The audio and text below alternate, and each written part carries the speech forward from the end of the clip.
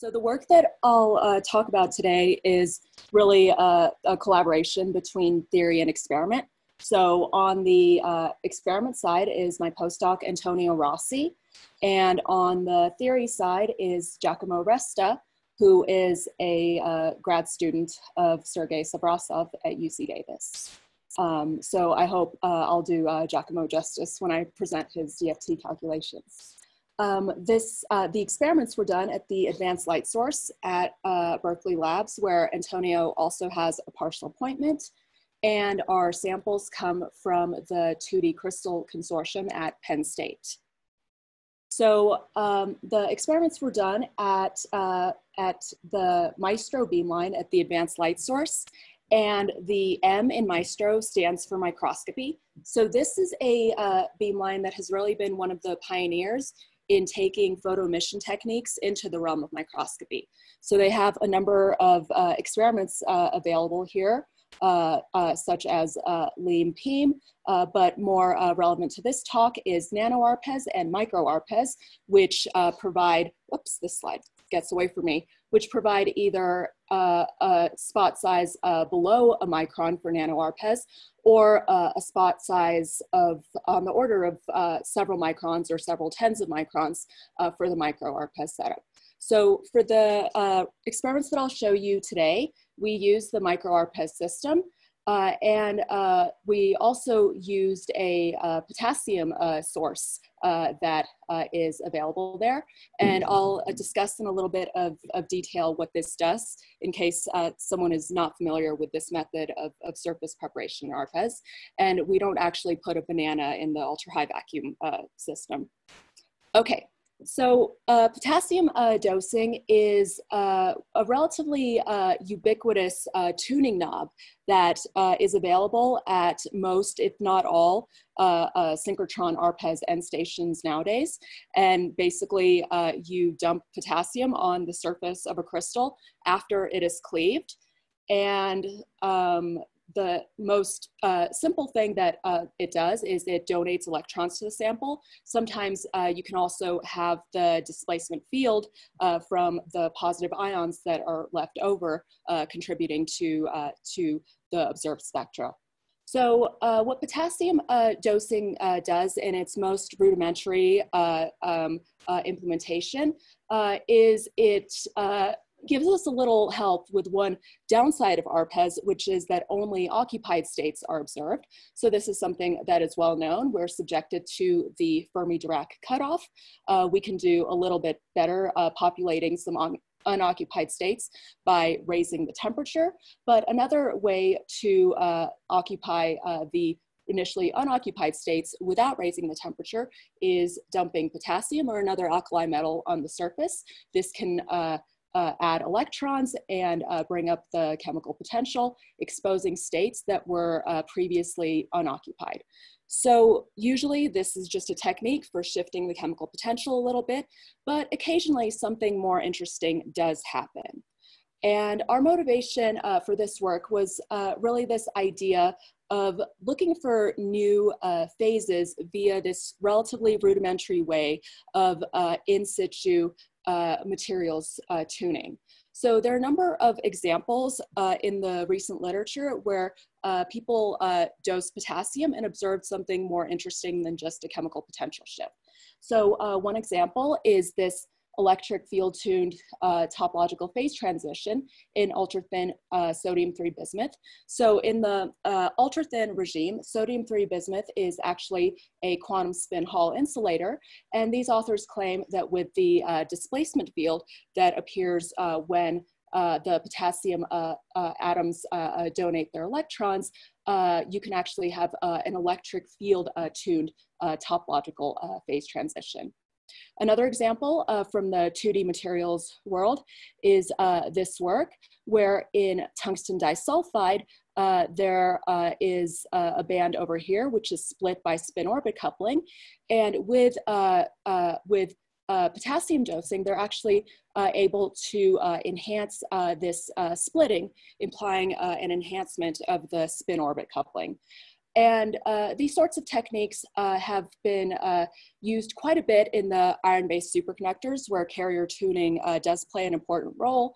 And there are some surprising results uh, there. For example, uh, this work claiming that the superconducting gap with potassium dosing is actually enhanced beyond what it is in the optimally doped bulk crystal. So uh, you'll notice on uh, this uh, uh this graph that uh, the plots uh, the plot corresponding to the potassium dosing has 40 seconds, 90 seconds, 130 seconds. So that is the tuning knob that we actually have in the experiments. we can control um, uh, how long uh, we've been uh, depositing potassium on the surface. This is not a good way to determine how many electrons have actually been added, and I'll come back to that in a little bit. Okay, so to have the highest probability of actually getting something more interesting than a chemical potential shift uh, with potassium dosing, it helps to have a material that does a lot of different things. And tungsten ditelluride is one of those multifunctional materials that is characterized by extreme tunability. And this slide is intentionally busy and I uh, don't expect you to read all of it. I'll uh, discuss the relevant pieces in a little bit. Um, but uh, today I'll be discussing the bulk system, but I'll remind you if you're not following the 2D materials field that uh, this material can also be exfoliated down to a monolayer or a or several layers. And in that regime, it actually becomes a quantum spin Hall insulator, perhaps one of the most robust examples that has been found thus far, and it becomes superconducting uh, with, uh, with gating. All right. So in uh, the case of bulk tungsten ditelluride, um, it turns out that many of the uh, emergent phenomena in that material um, carrier tuning plays an important role one way or another. So this material first rose to prominence uh, a few years ago because of its large and non-saturating magnetoresistance. So this was attributed to uh, perfect compensation between uh, electron and hole pockets. Uh, and uh, there is photoemission support for that, but it's uh, maybe not fully accepted in the community. But anyway, that's the uh, most common explanation for the large and non-saturating magnetoresistance. More recently, uh, this uh, material became prominent uh, as a predicted uh, type 2 Weyl semi-metal that was tunable by either strain or, uh, or molybdenum alloying. So a type 2 Weyl semi-metal is characterized by tilted uh, Weyl cones instead of uh, ones uh, that obey Lorentz symmetry. So um, uh, so this uh, prediction uh, uh, has been pursued by many different ARPES groups. I would say from the photoemission side of things, and I can come back to this in the Q&A if people are, are really curious, uh, the uh, ARPES uh, evidence that it's a type 2 Weyl semi-metal, the direct evidence is fairly tenuous, and I think it would be almost impossible to confirm in this specific compound, but there are uh, transport signatures that support this this prediction, uh, which I can't comment on their veracity because uh, it's not my expertise, but for the transport signatures to uh, be uh, observed, uh, one has to electron dope because the Weyl points are actually located approximately 80 millielectron volts above EF.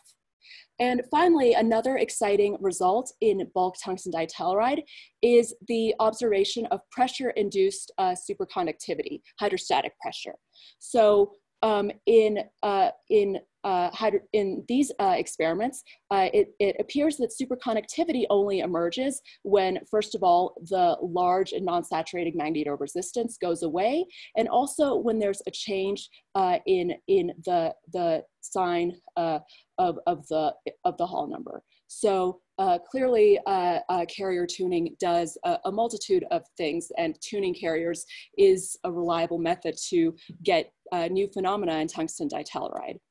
So uh, moving on to the ARPES data.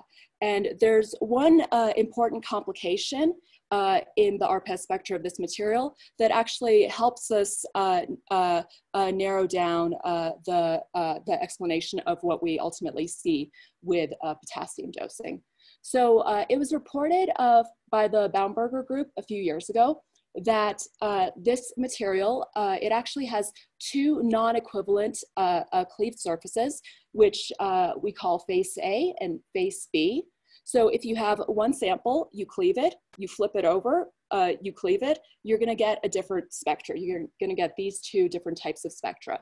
And this is attributed to a very subtle uh, inversion symmetry breaking uh, along the c-axis, where uh, in one uh, tungsten ditelluride block, you have your tungsten layer, and then you have tellurium atoms above and below.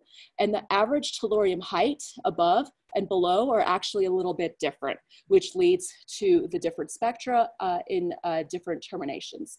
So let me walk you through uh, these spectra.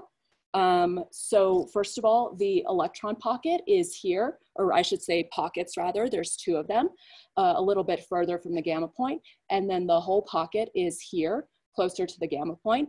And the characteristic of face A, at least before we add potassium, is that there is a gaping hole right here, a region of no uh, bands. Uh, this is in contrast to face B, where uh, you have your electron in your hole pocket, but you have this V-shaped feature uh, that uh, appears between the two of them. So this V-shaped feature uh, has been uh, observed by every ARPES group that measured these materials, uh, and it has been uh, shown to be a surface-like band. So with photon energy, it does not disperse, indicating that it's two-dimensional. Um, so because it is two-dimensional and it looks sort of arcy, uh, it was sometimes uh, incorrectly attributed uh, to uh, the Fermi arcs uh, connecting Weyl points. Um, so that is not the case actually, um, because if you actually look where the Weyl points are, they're very close together and they are not connected by that uh, surface state. So this large surface state, um, I, I, don't want to say it's topologically trivial because there are now uh, uh, proposals that it's uh, not topologically irrelevant. So I'll just say that it's not uh, uh, related to the predicted type 2 Weyl semimetal. So these are uh, DFT calculations, uh, slab calculations, obviously, because we're interested in uh, surface uh, states. And uh, in uh, all of the calculations I'll show, darker colors indicate a more surface-like band, and lighter colors indicate a more bulk-like band. So these calculations uh, reproduce uh, the, the fact that one of the faces has these surface states uh, between the electron and the hole-like pockets, and the other one does not. So you guys probably uh, see these uh, states near gamma, and uh, these also show up in the calculations, but um, it turns out that they're just a little bit below EF which is why they don't show up in these, uh, these contours, which are exactly at EF. So uh, with uh, photo emission uh, uh, Fermi surface maps, we have some uh, integration uh, window in energy, which uh, makes us uh, see states that are just a little bit below EF. Okay, so moving on now to the dispersions in energy and momentum. So here they are for face A and face B. Uh, so as a, a, corollary of a material that does a lot of different things, you often end up with a rather complicated uh, band structure. Um, but I'll assure you that most of these uh, states over here are bulk states, and they're the same for face A and face B because it's only the surface uh, terminations that are different. So where we do see differences uh, other than the gamma point, which will not be the focus of the discussion today, is uh, here at around uh, kx equals 0.3, where on face A, between the electron and the hole band, we see nothing, whereas on face B, between the electron and the hole band, we see uh, this sort of uh, teardrop uh, shaped feature. Okay, so now we uh, add potassium. We, we add electrons. And there are changes that happen in both of the faces. And um, this change occurs for a very small amount of potassium dosing, corresponding to a shift in chemical potential of approximately 30 millielectron volts. So uh, I mentioned uh, earlier that the uh, control knob that we have as an experimentalist is how much uh, time we've been evaporating potassium on the surface. So that is not a good way to surmise how many electrons that you've added because uh, the, the, way it happens is the first uh, couple of potassium atoms, they're uh, uh, they usually do donate their electrons. But what that does is it sets up an electric field that opposes uh, further potassium atoms from uh, donating their electrons. So initially, uh, potassium is deposited pretty much all ionized, but as you deposit more and more, it uh, becomes uh, more neutral. So, so the amount of charge that's contributed is not a linear function of how much time you've been dumping potassium on the surface. So what we can uh, determine pretty accurately in our experiments is how much the chemical potential has shifted. We do this by lining up the bands as best as we can before and after. Um, and if, if one wants to make some uh, uh, uh, I guess, uh, predictions uh, or hypotheses about how, uh, how the charges distribute in the top several unit cells, you can connect this to the number of electrons. But what we can rigorously measure is the shift in the chemical potential. Okay, so with that disclaimer out of the way, let me walk you through what we actually see. So on face A, uh, initially, there was a gaping hole between the electron and the hole-like band, and afterwards it has been filled by some states, and exactly the opposite thing is observed on face B. Initially, there were states, and then they are gone. And if you don't uh, believe uh, this uh, image that they're gone, I'll show you a Fermi surface map that, that maybe shows it a little bit clearer. So um, interestingly, it also looks like face A and face B has have kind of uh, uh, uh, uh, switched. So initially there was nothing on face A. Afterwards, there's nothing on face B between the electron and, and hole pockets. And I'll explain uh, uh, a little bit later why this coincidence actually makes sense. Okay, so um, so one an, another way to decompensate uh, electrons and holes in tungsten ditelluride is by raising the temperature. So it was found uh, that this material undergoes a Lifshitz transition at around 160 Kelvin, uh, where the hole pocket uh, vanishes uh, uh, below uh, EF, or rather it doesn't vanish, but it, it goes below EF. And qualitatively, this looks a lot like adding electrons. But if we actually look at the spectra, and this is uh, uh, uh, from a paper a few years ago, so these are spectra on face A, and I don't know if you can see clearly, but uh, at low temperature, there is nothing between the electron and hole band over here. And then above the Lifshitz transition, it is fuzzy, but there's still not a band there, which would be uh, very uh, clear if it was present. So it looks like there is something different about adding electrons versus uh, decompensating carriers with, with temperature. Okay, so here's the doping uh, induced change in fermiology. So we have uh, before uh, the potassium doping, we have our gaping hole and we have our V-shaped uh, surface feature. And then uh, after dosing, uh, you have a feature appearing here where there was once a gaping hole, and then you have a gap appearing on face B where there was once this V-shaped surface state. So uh, we can uh, focus a little bit closely on the uh, momentum region where this change is actually happening right here in the uh, green boxes, which are lined up for all the images. And here in the bottom panel, we show the difference plot uh, where uh, before, or where on face A, you have an overall increase in spectral weight in this region, uh, whereas on face B, you have an overall uh, decrease of spectral weight in this region. Okay, so to guide uh, how we think about uh, uh, this uh, observation, uh, let me say a little bit about crystal structure.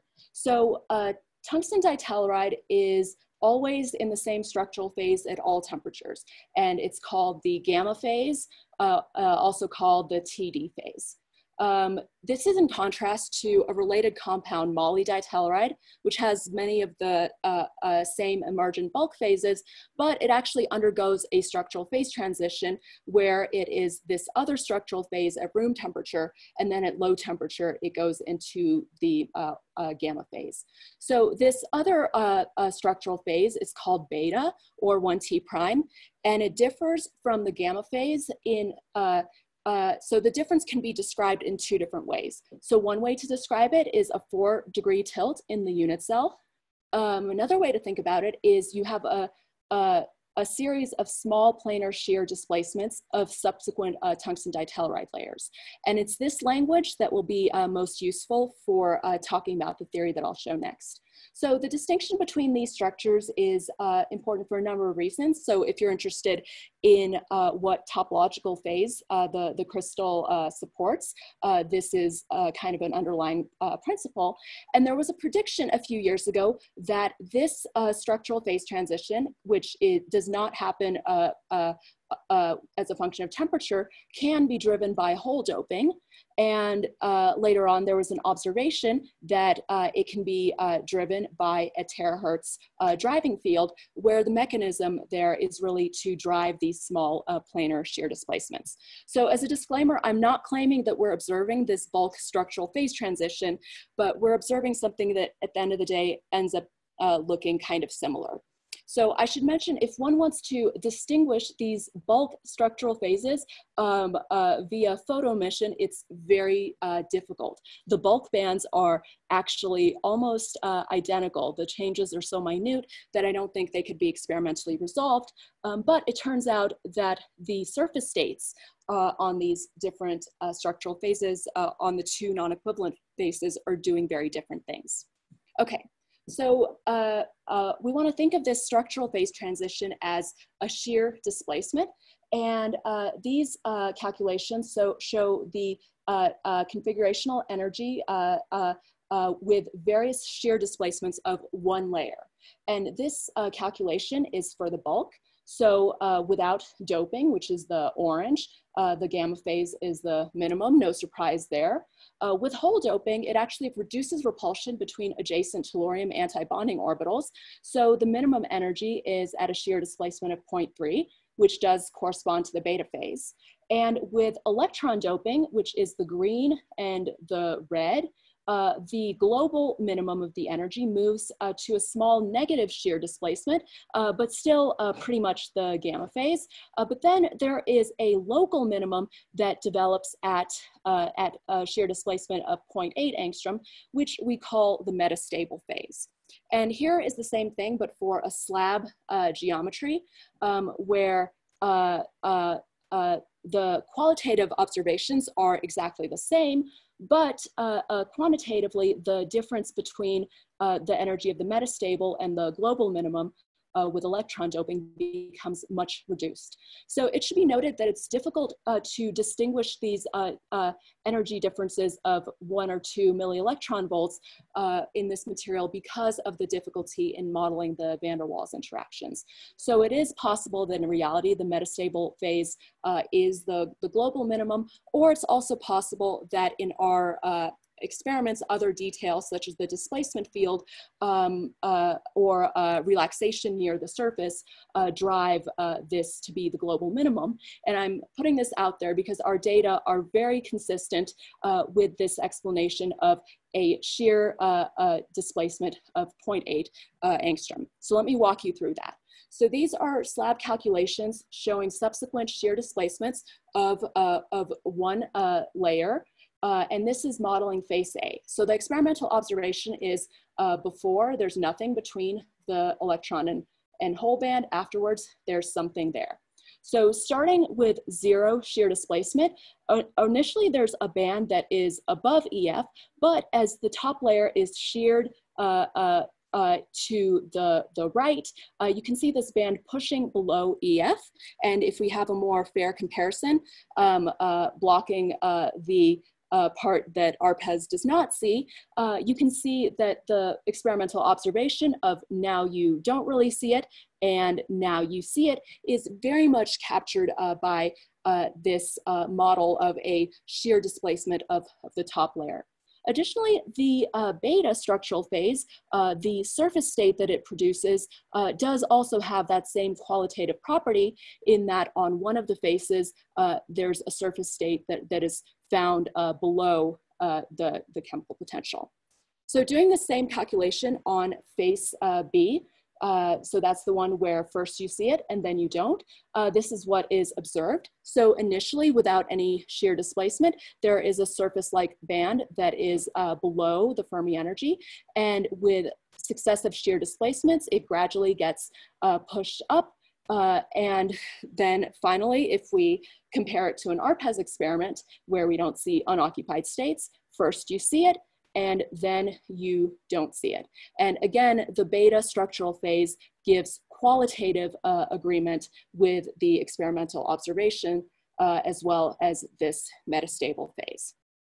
So there is this intriguing um, uh, coincidence, uh, two intriguing coincidences that I pointed out. So one is that with, uh, with potassium dosing, the different uh, terminations seem to switch. So the spectra that were initially characteristic of face A afterwards become characteristic of face B. The other coincidence is that uh, the spectra qualitatively look an awful lot like the beta phase, uh, which uh, we don't claim to be actually uh, producing because it is energetically unfavorable. But if you compare th what the, uh, the crystal structures, this coincidence starts to make sense. So uh, this is the metastable phase, so 0.8 angstrom shift of the top layer compared to the, the gamma phase and, uh, and, and the region of qualitative agreement is marked by the green box. So uh, in this case, there's only one layer of qualitative agreement, which makes sense because you shifted the top layer and now, uh, and you line it up and now everything below disagrees. Um, the second panel is the metastable phase versus uh, the inverted gamma. So basically the uh, orthorhombic phase, but flipped over so that face A becomes face B. So here, uh, the, the qualitative agreement uh, extends to uh, the top two layers. And then finally, uh, we have the metastable phase uh, compared to the beta structural phase, and the qualitative agreement is on three uh, layers of tungsten ditelluride.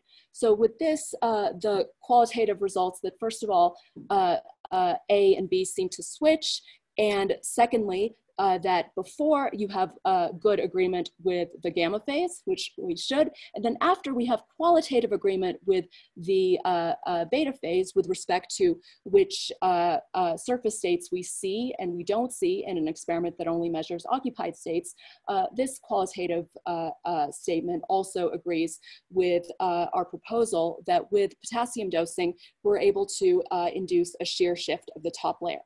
So to conclude, uh, we find that the surface states of tungsten ditelluride are a very sensitive measure of the structural phase because the bulk bands definitely are not. Um, and we also found that a small amount of potassium dosing produces a change in the surface bands that's consistent with a shear displacement of the top unit cell. And then finally, we find that with potassium dosing, the first three layers of the predicted crystal structure that we end up in are consistent with another structural phase that is not realized under ambient conditions. And this is an attractive structural phase uh, because first of all, in ultra thin uh, tungsten ditelluride, it's actually in this uh, crystal structure that the quantum spin Hall insulator is seen. And uh, with superconductivity under pressure, uh, this may also be the structural phase that is relevant, although that is still debated. So that's all I have to say, and um, I'm happy to take questions.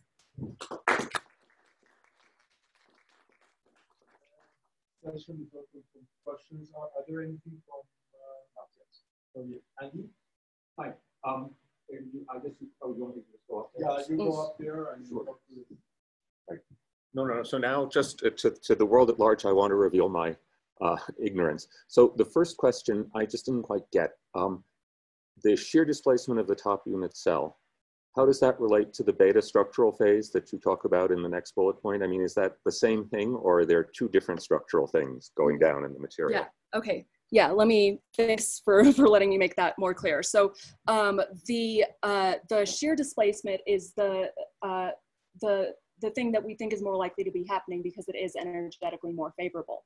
Uh, if we take this, the crystal structure, sorry, let me talk into the mic. If we take the crystal uh, structure with that shear displacement and lay it on top of the beta structural phase, it matches in the top three layers. Ah. So that's where the, the qualitative agreement lies. I see.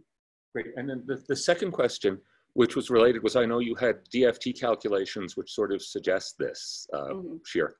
But, but is there a simple physical mechanism that would let one understand why it wants to do this shear on potassium doping? Um, well, um, I'm not sure exactly. So uh, the the calculations of the energies of the the configurations, uh, it does show a, a, local minimum. How it gets into that local minimum, I'm not sure. Maybe the displacement field uh, plays a role, but I don't have an answer for that.